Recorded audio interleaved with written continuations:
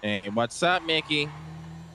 I'm going to use the state funds to destroy the South Side. Why? What happened?